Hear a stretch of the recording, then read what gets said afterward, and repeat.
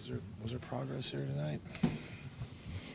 Yeah, I think so. I think you know the, there was some emotion in our group and some some compete, and that's something we talked about before the game. That you know we need to get engaged in games and and you know start having a little bit of swagger out there and, and not be afraid to lose. And I think tonight that was a lot better. That's why it was with a purpose. Though. It seemed like those opportunities presented themselves to defend each other. That's the thing that might be the takeaway tonight.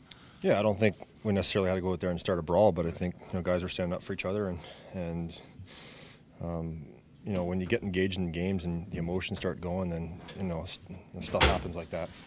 Um, I'm not saying we need more fights, but it just being engaged doesn't mean you got to fight. It means you got to you know make make a difference in the game, be a difference maker, and you know tonight we had guys, you know, a lot more guys on board with that, and and uh, you know we were in a hockey game because of it. On the game winner, you get caught on, and that, that happens in three on three, right in front of you sometimes.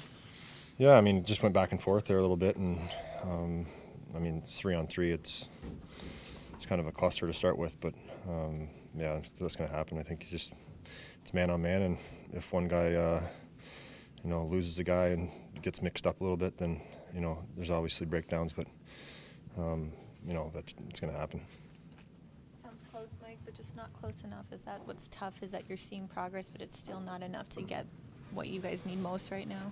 Yeah, I think you know we talked about having to be uh, more more engaged in games and more you know the compete level had to come up, but now we have to sustain that and we have to you know generate more out of it. You know we have, we can't just be uh, you know be satisfied with just being a team that works hard. I think we want to at the end of the day we want to win hockey games and um, but it starts with you know everyone looking in the mirror and worrying about themselves. And at the end of the night, if you're not exhausted after playing an NHL hockey game, I think um, you're in the wrong business. So I think it's it's something that we we talked about before the game, and it was a lot better tonight. You know, is that missing lately, large parts of the season, or that was just a message specific before tonight?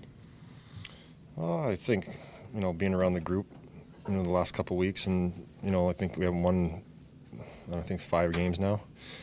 I think uh, this little swing here, you you know, you start to notice little tendencies, and I think um, you saw it in Chicago where we just, you know, we were, felt like we were feeling sorry for ourselves, and as soon as you start to do that in this league, you know, it just it can snowball, and and uh, you know, everyone's here for a reason. Everyone's, you know, a good hockey player. I think we just need to start to uh, to believe in that.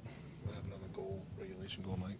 Yeah, that's that's that's one that's got to be stopped. I think I was I was there. I was over there. I was I was set. I was down. I I have no idea how that got under my pad, but yeah, that's one that I was. I know I I have no idea how that went in, but it's what's definitely one that I thought I you know should have.